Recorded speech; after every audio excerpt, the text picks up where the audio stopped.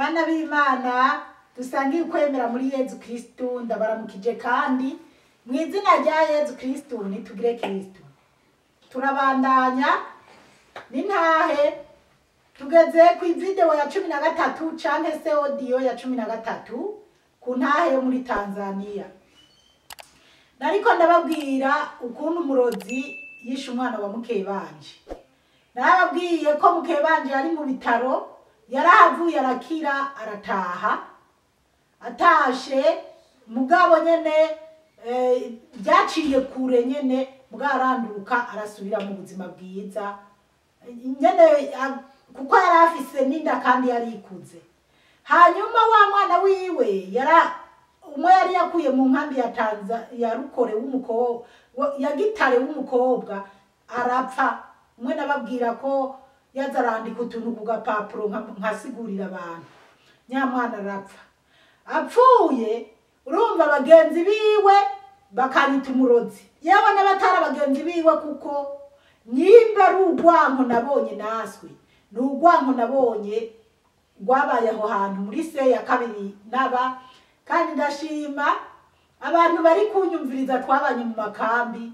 Hari ahantu nyene baza baranambwira ati burya aha a byari bimeze uku. Hari umuntu yanyibukije yuko wa mumama yari yampendekeje kuba umukose yitwa Alice yaturuka mu gihugu cya Nigeria. Yari umukuru wa hasere yari akomeye nyamumama noneho rero ah, aho twaba nyene muri se kabiri ubushize nari nahibagiye mugabo hariho abanyibukije. Rero uwo mwana wiwe nyene aha- amaze gupfa abantu baranyanka nyimba ari abantu nabonye banyase. Kandi bamwe ntibananyankira kubera uwo mwana bari bafise n'ibindi bampora rero nkaja mu nzu ngiye kuryama. Nama ndababwira je mu buzima bwanje kuva niga mu wa gatatu. Nta munsi n'umwe nigeze nkora ikosa ryo kuryama ntasenze. Usibye gusa ko hari n'igihe nasenga nitiro nkasinzira ariko nikanguye naramenya aho naringeje nkabandanya. Naho bwaba ari buri mu buce ni bwo rero nyene nkaja mu nzu nkasenga nkaheruka ndiko ndasenga buke buke.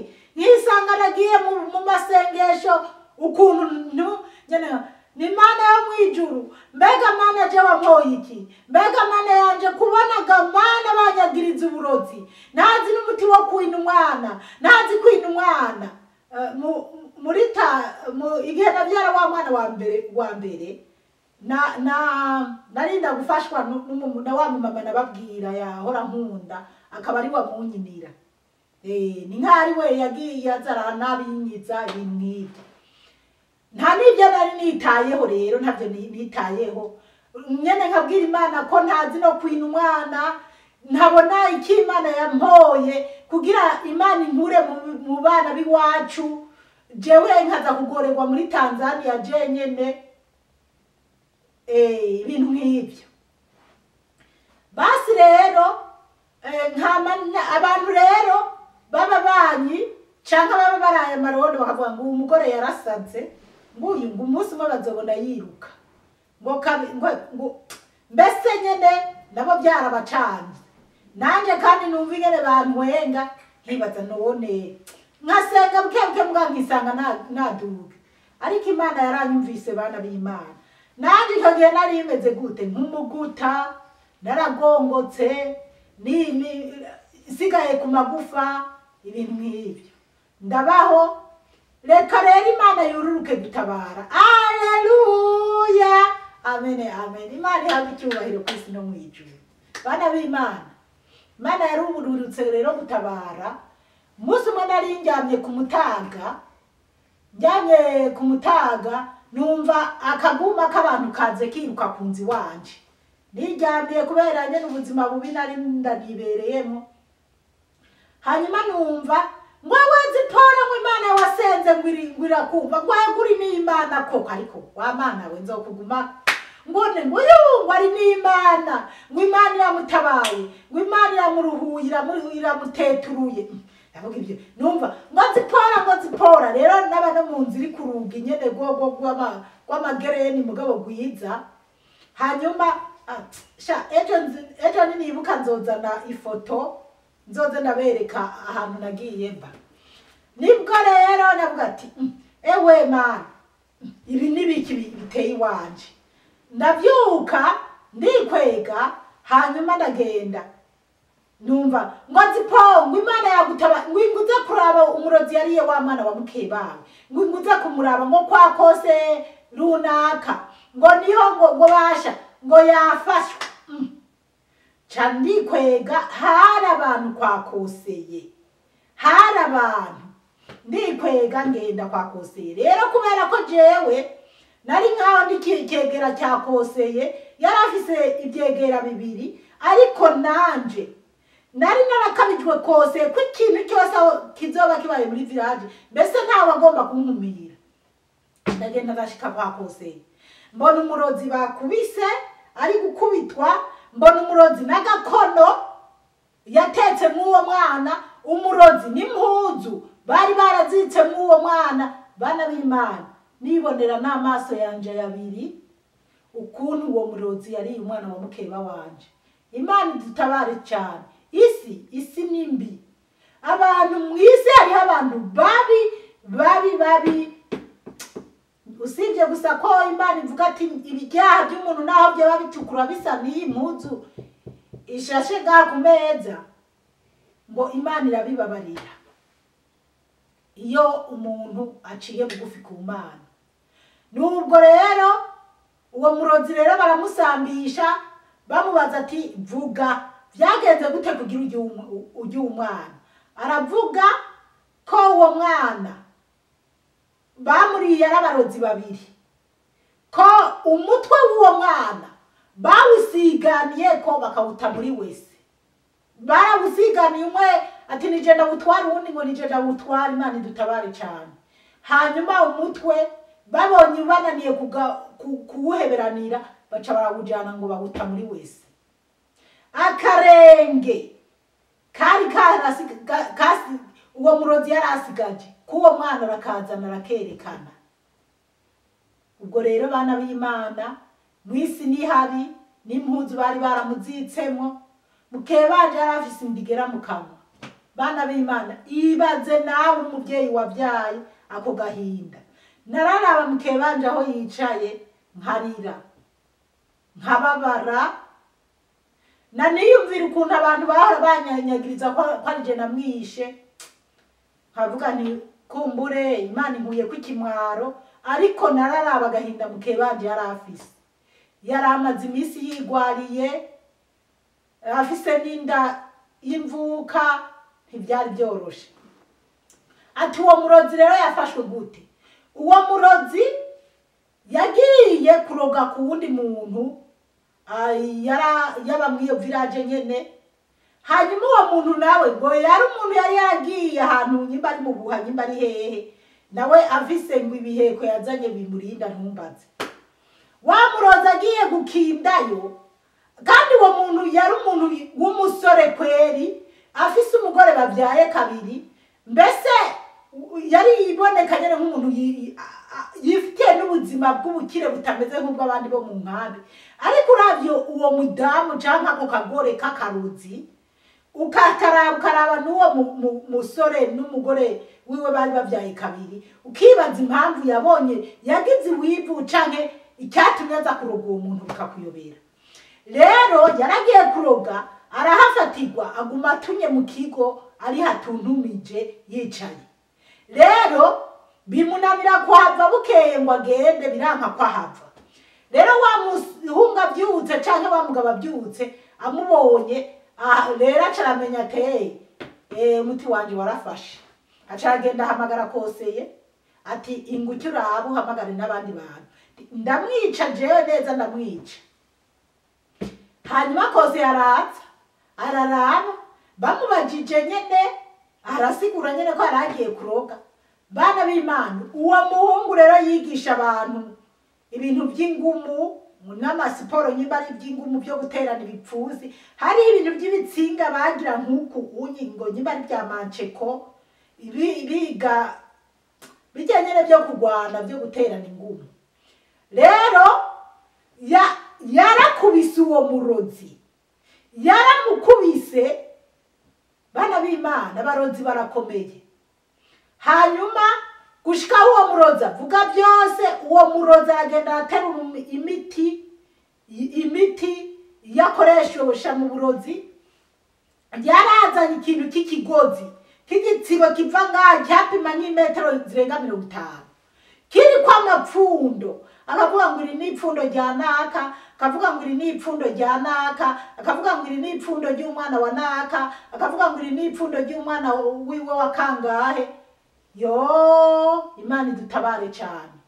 Erega abo yari yararoze barabatondesheje ngo naza ara- ara- arabarugora yarakubiswe rero hanyuma umugabo narababwiye ko uwo mugabo wacu yarara kuri sitoke kandi ni nka muri nyagihe jewe nyene yari yaranantaye ni nkaho yarara kuri sitoke.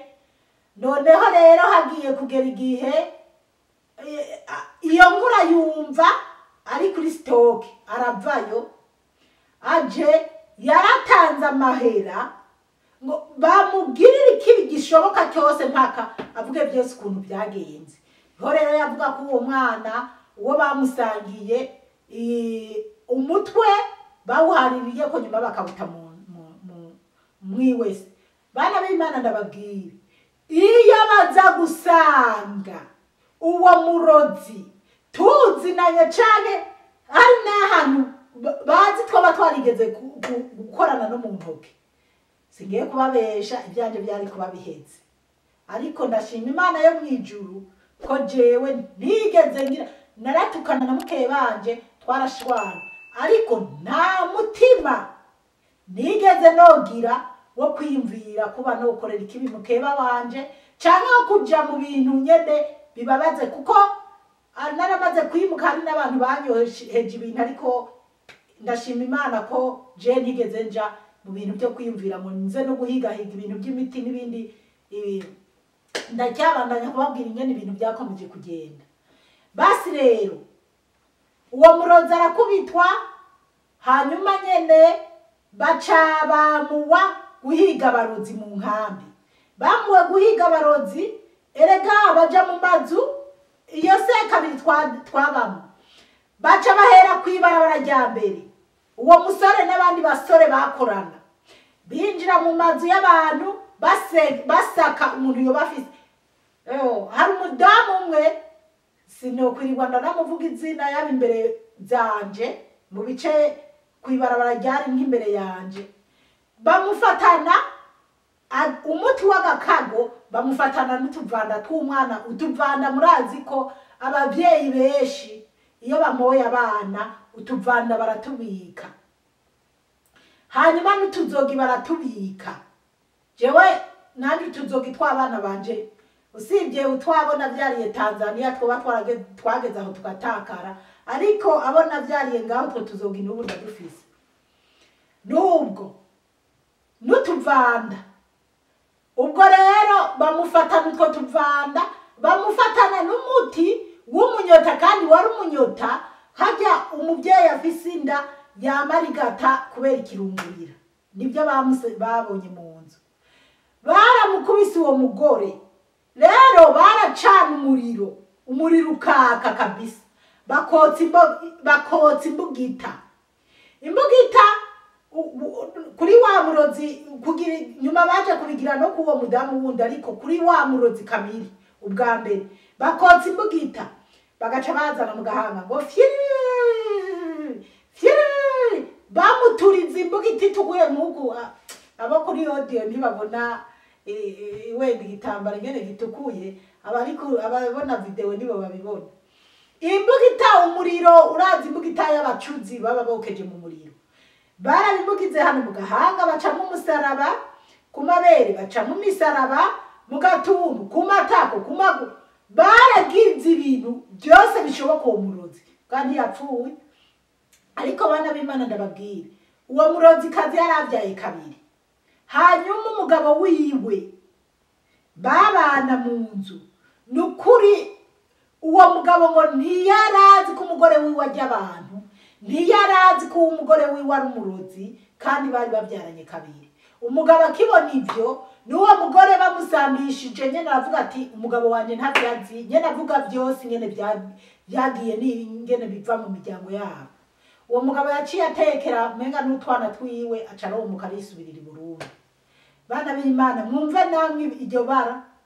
Rero uwo murozi nyene akavuga ko uwo mwana yararyoshe urumva aho bamariye kumufatira nyene bariko baramukubita wa muhungu nyene bariko aramukubita niyo ngo vuga rero uri umurozi wamujya ngwengo na kakana ko mwana kanije nakariye muri je mperuka kukarya.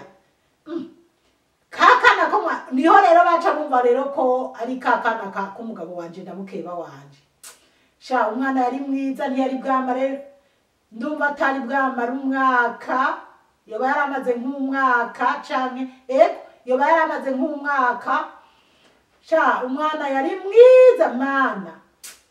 Ego basi rero hanyuma rero nyene barafata n'abandi nyene barafata uwo mumama wundi mu by'ukuri ntiwari kuvuga ngo bariko baramubeshera je nabo twabana twaza duhuhumira mu bikwemu kure tuvuga ati yo naka baramubesheye nta burozi bwiwe. Ariko uwo mudamu baramukubiswe kabisa. Kandi na wewe bariko baramurenganya.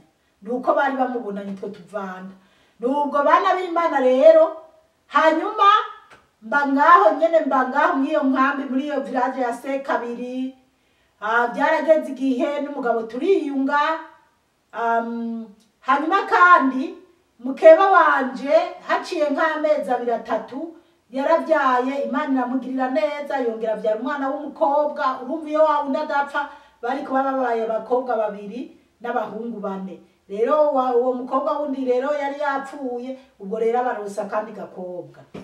Basi hanyuma nyene kandi na mukeye baje kweri yarageze aho nyene avuga ati yumva ko twarasabanye imbabazi arambwira ko yanyiyumviriye nabi ibyo abantu bamubwira ko noba naramuroze canke namuro arije namwiciye umwana ko nomubabarira tukababariranira ko kabisa kuba atari yasanze icyo cyaha kitandiko. Nyene tu- aransaba imbabazi ndavuga ati nta ngorane ibintu nk'ibyo. Twarabayeho rero nyuma umugabo yongeye twarongeye tura nyene turiyunga n'umugabo ariko byaciye kure kuko jewe nari naranababaye ku buryo nari narishizemo ko ntazosubira ku- kumvikana nawe. Basi rero tuba ngaho mu nkambi ariko bana b'imana. Mu nkambi jewe narahabaye nabi abantu nuko nyene ntovuga ku burebure ibintu uko biba biri byose bakanyagiriza ibintu by'ububeshi banyagiriza ba- ugasanga turagiye nko mu manza hari abantu bigeze ku- kuvuga ngo ngo navuze ngo umuntu runaka ngo ni umurozi ariko umwana wanje yari karakina n'abandi bana rero ku mabarabara icyo gihe bari haharaye abantu benshi bararishana. Hanyuma nimba abana bariko baravuga ibyo bavuga umwana wanje rero avuga ngo sha ngo nimuzoze murajya ngo ibyo mubonye byose. Ngo kubera ngo banaka barabahaye ishano ngo banaka bagwaye ishano ngo bagwaye ishano. Basi nyuma rero sinzi abaje kunsengeza kwa kwa babanje muri vi- village kuri kuri broke bancira urubanza rwa ngondagonde ngo umwana wanje umwana atari bwagire n'imyaka itatu kweri. Ngo yavuze ngo abantu ngo nabarozi baranca amafaranga mbwa je ndababwira ati je ntayo notanga nimugende imbere. Byarageze rero kwa koseye. Koseye rero yari azi ko mw'iyo nkambi ndahabaye inama n'ukuri. Mana uwo mukoseye ahari imana ikomeze izomuhezagire n'ubwo. Hanyuma arumviriza urwo rubanza aravuga ati ariko mwe mwe sinzi ingene mwabaye. Ati uyu mugore mumwankira iki ati umwana wiwe. Ibyo bintu byariko biravuga abana ni byo muza guharura k'uwo mubyeyi. Hanyuma ba- abari ba- bariko barantoteza baba ari bo bahura n'ibibazo. Hanyuma hari n'uwundi muntu yigeze ibyo abantu bagiye bandenganya byoba byinshi. Ariko ndashima imana imana yarakomeza ingwanira. Ah, hanyuma ikindi jewe umwana wanje nyimba ndanamwaruriye utwo kurya yari umwana akundana. Nyimba ndamuzaniye n'akabenyi n'akanyegeje ntiyakarira mu nzu yaca akajana agasangira n'abandi bana. Mugabo abandi bana nk'abantu bakamukubita abandi bana bakamukubita nkabona ati ni iby'abana nkabyihanganira. Mugabo wewe nyimba ari n'uwundi mwana bariko barakina aga- aganotera uwundi mwana. Iwanje induru zikaba zaca abantu. Ngwe mubiki n'ibiki yajana utwo kujya uh, hanze ku gasahani ngwe ngo bariko bararerekana ko barya imiceri. Imana idutabare cyane. Rero mba ngaho mw'iyo nkambi hanyuma igihe kimwe rero haje kuba ibintu by'ibarura. Habaye ibarura jewe nari ifise narababwiye nari ifise ikade y'abantu bane nkagira n'iyindi kade y'abantu batanu. Nkagira na ya kade y'abantu babiri nababwira bagira bice Eh, narira abantu cumi na. Rero umunsi haragera ibarura. Hageze kubarura rero iyo haba ibarura ufise ikade za makanage waca wiruka mu gitanzani ugahiga abatanzani ukabaha amahera. Bakaza iwawe mugatondana kwibarura ko ari abarundi biki? N'ibiki kugira ikade zawe ntizipfe. Rero ibyo nahora ndabigira kandi mu by'ukuri hari n'aho nahora ngira amashanse ntanabigize nkagenda kubarurwa jewe nk- nk'abatanzaniya nkababwira nti burya rero jewe nagize ikibazo iki n'iki nkabona baranyihereye ikade n'ikindi gihe nigeze kugenda kubarurwa nyene ntonze ku murongo abantu bishimiye ko ikade yanje igira ipfe hanyuma ngira udufaranga nk'uku nereka umutanzaniya umutanzaniya mbona arasetse. Hanyuma ndamushikiriye nari ifise ikade ya batanu yagomba gupfa nkasigarana babiri jewe na wa mwana wanje. Ya kade nari narakuye igitaro hanyuma kuko iyi nari narababwiye nari narayihaye umutanzaniya. Hanyuma ndamushikiriye arambaza. Ambajije ati ni wowe mukuru w'umuryango canke n'umugabo wawe? Ntangura kurondera ibyo mbeshabesha nyene ngo nuzuze abantu. Hanyuma ndavuga nti jewe mukuru w'umuryango. Ati hanyuma umugabo wanje hanyuma nyene nkaca ndondagura abana ikade yanje bayimpariye batanu. Abantu rero bari bangwengo nawe azoza ararya ibyaba biraze yumve. Bantwenga sha ndababwire kugirira umujinya mugenzawe ni bibi nyuma mugenzawe yigi- yifitiye amahirwe mugabo hari igihe bishika kugira imana yihesha icyubahiro abantu rero ntidukwiye kugirira imijinya bagenzi bacu. Basi rero icyo gihe uwo mutanzaniya ndamushikiriye ndamudondagurira na ya mahera nayo yatoye yambwiye ati genda gu- gu- gu- kugurira ibintu umwana wawe. Nca ndisohokera ikade yanje bamenye ko bayimpaye yose. Abantu barifashe ku munwa barumirwa hanyuma ibyo tiwe reka mbanze ngeze odiyo ngaha. Turabandanya ni odigira cumi na kane. Mukama imana bahezagire cyane mwarahezagiwe n'imana.